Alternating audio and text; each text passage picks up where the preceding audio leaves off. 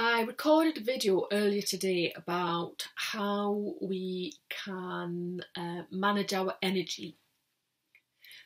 And I wanted to address the fact that sometimes um, managing your energy just isn't enough.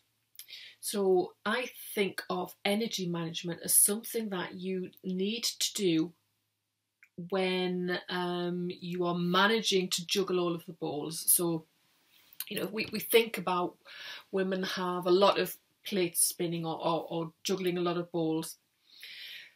And sometimes we drop a plate, drop a ball, whatever, and um, you know, sometimes it doesn't go as, as well as we would like. Sometimes it we're just tearing our hair out, but we're managing to do the important things. We might not feel happy, we might not feel fulfilled, we might not think we're doing those things well, but on the whole, we're doing them. You know, we're getting through the day, we're doing them. But sometimes um, everything we're having to do, all of those balls in the air, all of those plates that we're juggling get too much and they just come crashing down. And that's what happened to me a few years ago. It started off as work related stress, and I had always been resilient. I took everybody else's stress on my shoulders because I wanted to make it better for them. I, I I'm an empath, so people used to come to me and they'd pour out of pour out their troubles, and I'd say to them, right, as I, I you know I was their manager, I was an operational manager, so I'd say to them, right, what are we going to do about this? How can we help? Uh, how can I help? What are we going to do? And they'd say, you know what, I just feel better now. I've talked about it. I feel better, and great. I felt good that they felt better, but I was exhausted. I used to take on board all of that, and I used to lie awake at night thinking how I could make things better for the people that worked for me.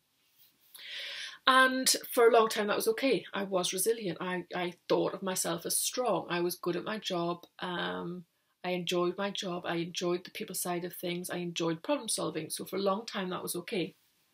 But there came the stage where it was just too much. There was just too much going on at home. There was too much going on at work.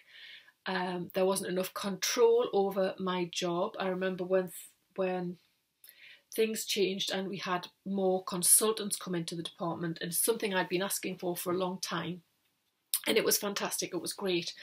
Um, I had people in the department agreeing with me that things needed to change, but the powers that be recognised the problem eventually, after me shouting about the problem for a long time, the powers that be recognised the problem, but had their own ideas of how things should change, um, and they didn't have the understanding that the people in there had. So it was all very frustrating and led to a total lack of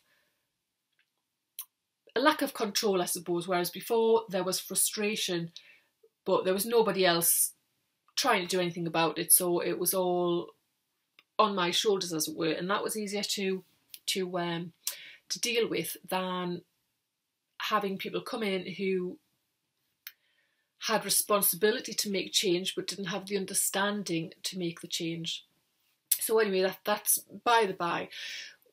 Work related stress led to depression, anxiety. Um, it led to me being ill, not not being able to, to function effectively, not not being able to function at all. Eventually, and for a long time, I really struggled with that. Um, I I lost my identity. I didn't know who I was anymore. I didn't know that I wasn't this strong person that I used to be. How could I be if I'd had to take time off work? And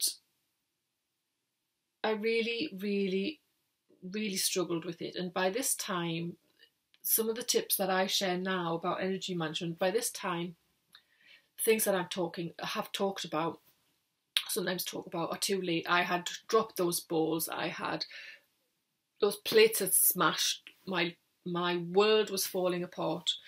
It was too late for for energy management. It was time now for healing. And this at, at first when I had no choice but to leave that job. I was all about achievement, achieving my goals, starting my business, helping others, achieving my goals. And it stopped, that stopped me from healing the trauma that I'd gone through. The at the time I would have said it's not a trauma. I would have said it's, you know, I can deal with this. I'm strong. I can deal with this. It's behind me. I've just got to move forward. Um, but looking back, it was a trauma. It had a huge impact on who I was and how I felt about myself and the beliefs I had about myself. So it meant I had to take time out to heal, and it I was totally resistant against that. And I think most people who are in that stage where the plates have dropped, the balls have dropped, that that you know the life has fallen apart. I think most people who feel like that, um, they want to, to to they want answers, they want solutions, and there aren't solutions. Uh, there aren't there aren't easy answers.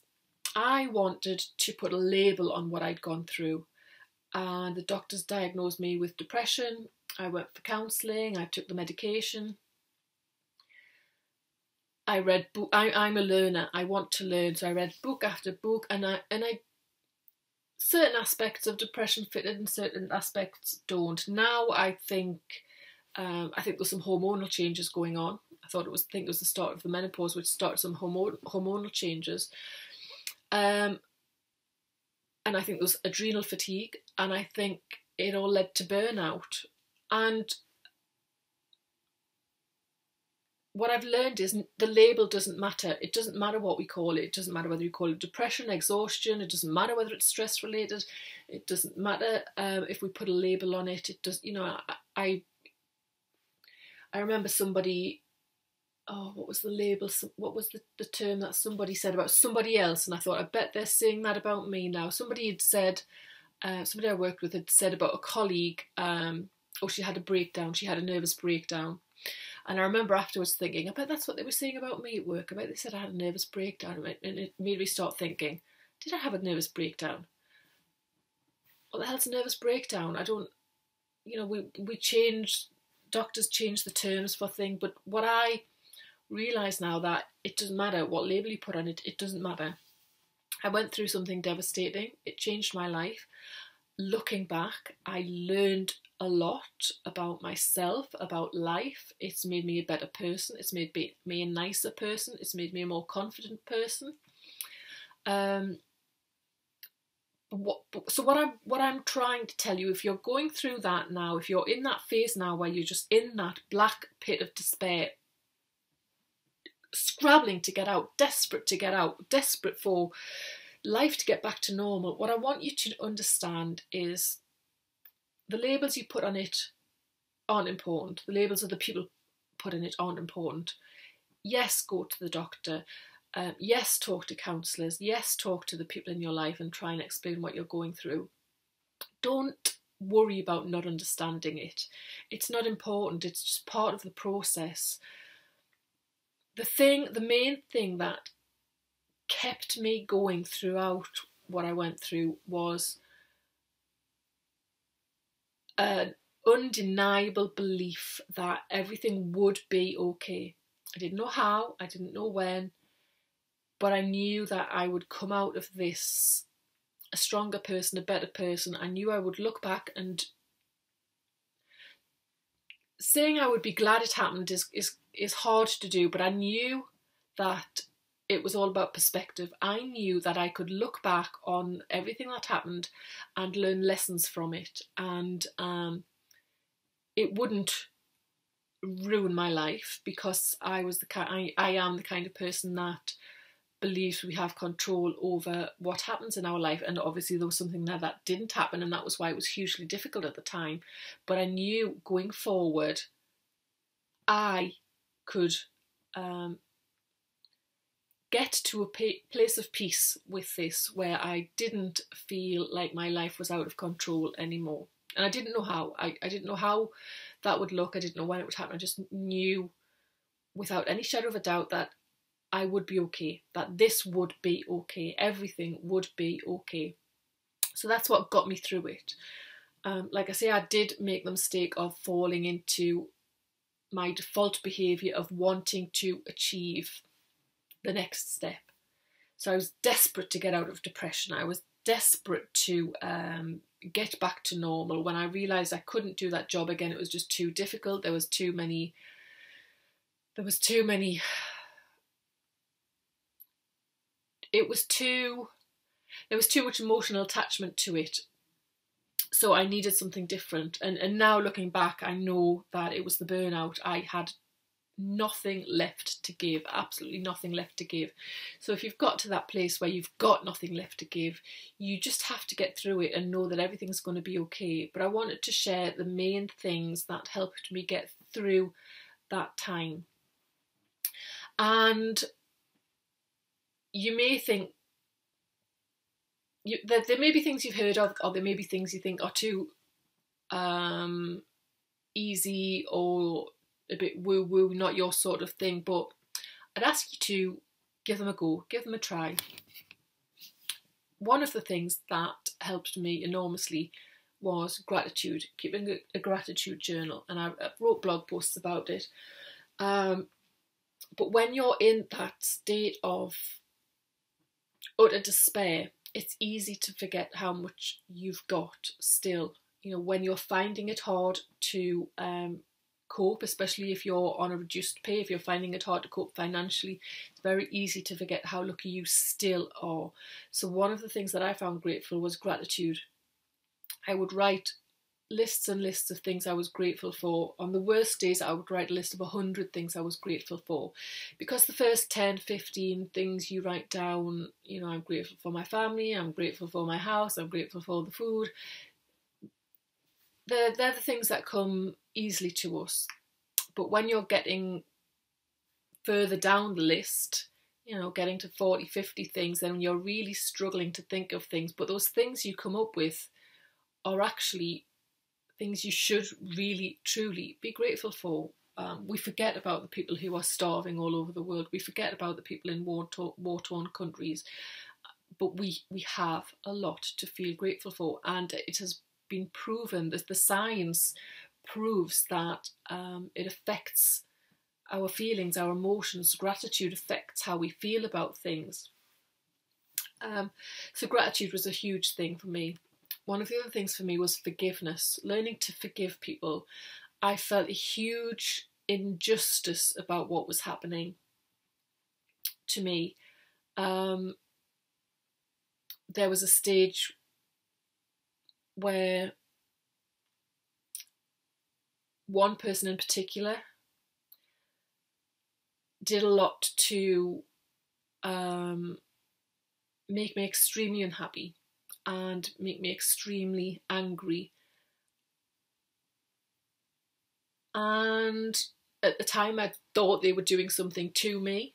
Looking back, it was just their inadequacies, their um, inability to communicate their their unhappiness. You know, only hurt people hurt others. That that's what I've learned. So one it took me a long time, but one of the, the things that I took away from what I went through was the power of forgiveness.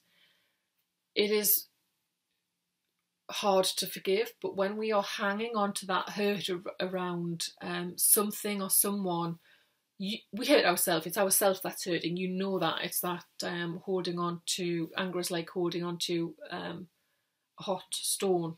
There's a uh, can't remember the quote now, but it it hurts us. It doesn't hurt anybody else. When you can let go of that, you can start to heal. And that was something that um, is so simple. It took me a long time to learn, but it is so simple and um, made a huge difference. Um, so, gratitude, forgiveness, um, not putting a label on things I've already mentioned was a huge thing for me. Not worrying about knowing the outcome, letting go, letting go of the attachment to what all of this meant about me was a huge thing and letting go of um, the identity I had for myself. I, I thought the only thing that I was good at was my job. I didn't feel like I was a good mom. I didn't feel like I was a good wife, good daughter, any any of that sort of thing. But I knew I was good at my job. So when I found my job difficult, I really struggled. My my I lost all sense of my identity. And what I've learned now is my identity has nothing to do with my job.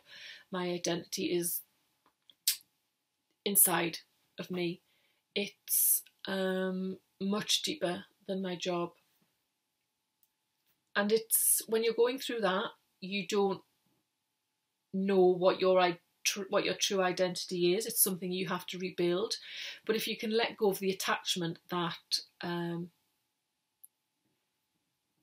you as a person is a strong person who goes to work, who you know, who takes care of the kids, who earns a living, and all the rest of it. If you let go of whatever your identity you've given yourself, you will make it much easier to move on, to heal, and to find the real you, the real you deep inside, which is your your true identity, rather than your ego that um, you know the, the person you think you are or, or think you've been all of your life.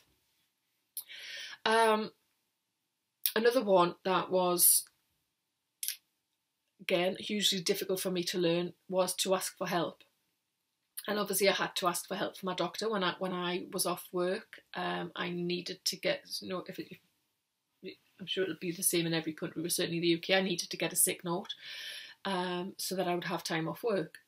So I had to get help. Um, doctors are very busy. They do the best they can, but they don't have an awful lot of time to spend with you. So quite often you come away with um, medication. And I'm not saying don't take medication. I am saying that don't rely solely on medication. I got counselling. It took a long time to get that counselling. I did get some counselling through work. Um, eventually, I got counselling through the NHS. I saw several different counsellors. Some of them were more effective than others. Um, so don't see one person or talk to one person and think, well, that doesn't work for you because you will get different things from different people. And even if you're not getting the answers you want or you're not um, feeling as well as you want after talking to a counsellor, and it's highly unlikely it would be doing any harm. But also, what other help can you get? Can you, you know, if, if you're having trouble um, with childcare, you know, you need you need you just haven't got the physical energy anymore and you need help with childcare. Are you taking all of the help you can get? Are you asking for help? Are you taking help? Um, but also, I think one of the really significant things is um, help around finances. And when, when, well, first of all, when I was struggling to cope with my job. My way of um, numbing the feelings was to spend money. And you know, retail therapy was my thing. It all, it always has been, or always was anyway. Um, some people will numb their feelings in in food or alcohol or whatever. But for me, I like to spend. So there's only so much spending you can do before you uh, run into trouble. And I, I'd never been great with money, but when my wages were halved when I was first on the sick, and when I my wages were stopped when I was on the sick even longer, money became a huge problem.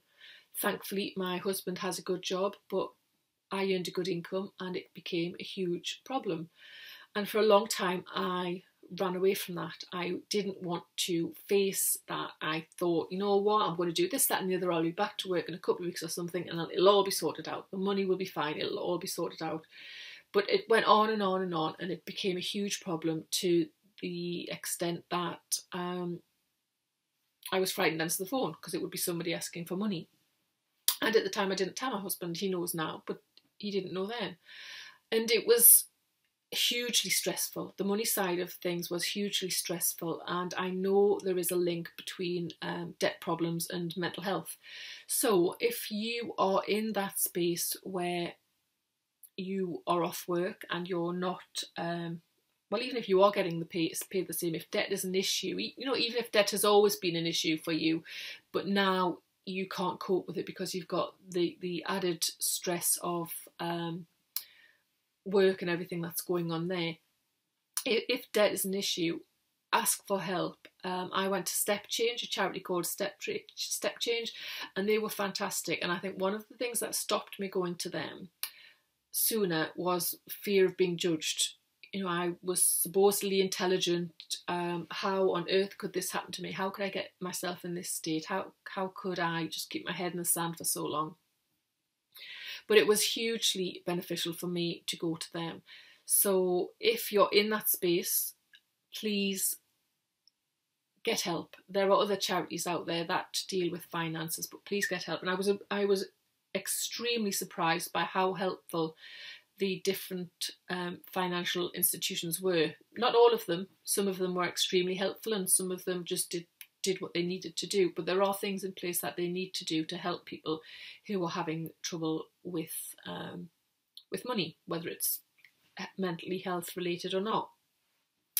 So um, I think they are the main things that I wanted to mention if you are in the space where it's the the energy energy management techniques that I mentioned are, are just too little too late. If if you've dropped the balls, if the plates are smashing around you, if if life can't get much worse, um,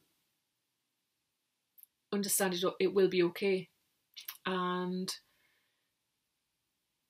ask for help, accept help, get help with finances if you need it, forgive the people around you who are hurting you, who don't understand you. Um, be grateful for what you got, what you have got. And I know it's hard, but there are always things to be grateful for. And be open to be open to new things coming your way. I think it's for a long time I couldn't accept that um, that I wouldn't go back to that job. For a long time I thought that's all I could do. When it became obvious that I couldn't go back to the job and I had to do something different, I had to start looking around, and it was it was very hard to um, to work out what I was going to do next. I, I genuinely didn't think I had the ability to be an entrepreneur um, or to make money myself. You know, I thought I was going to end up working in a, I don't know, a shop or something, which nothing wrong with that if that's what you want to do. But for a long time, I wasn't, um, I wasn't well enough to go into another job for a long time. So I wanted to work for myself because um, it was the only way to protect myself, to stop myself getting hurt again. So, what I'm saying is be open to um, doing something different. It may be a different career, it may be some, a, career you never thought of, it may be self employment, it may be setting up your own business. Don't ever think you can't do it, don't think you haven't got something to give. Try and start the day with a sense of curiosity. You know, what could be out there? What signs could you get from the universe, whether you believe in the universe or whatever? Uh, when we think about it from this point of view, what signs could there be that um, I meant to do something different?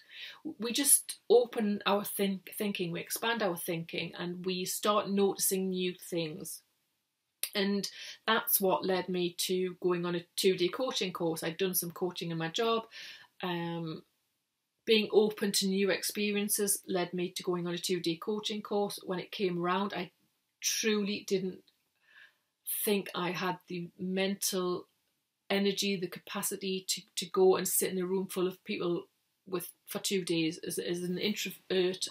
Um, at the best of times, that wasn't something I wanted to do, but I booked the hotel and booked the course on a on a positive day, on a good day, and I thought, if nothing else, I'll have two days locked in a hotel in a room on my own, you know, away from the hustle and bustle of the family. I'll just have some space to get my head straight.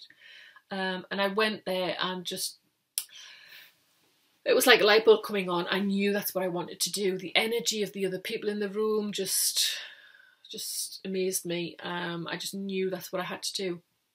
And I came back a different person. And it was still a long struggle after that. It was still a long struggle. But just opening myself up to something different, the possibilities that there might be something out there that I can do and can give me a different life. Just opening myself up to that was was a huge um, shift in in my life. So I think I've covered the main points. Points. Um, if I think of anything else, I will add them in the comments. Um, but yeah, I wanted to say that I, I know how difficult it is when you're in that pit of despair. I truly understand. And there is no answer, there is no magic answer, there is no magic cure. And I looked for it for a long time. And there isn't one. But it will be okay. I promise you it will be okay. I hope that helps.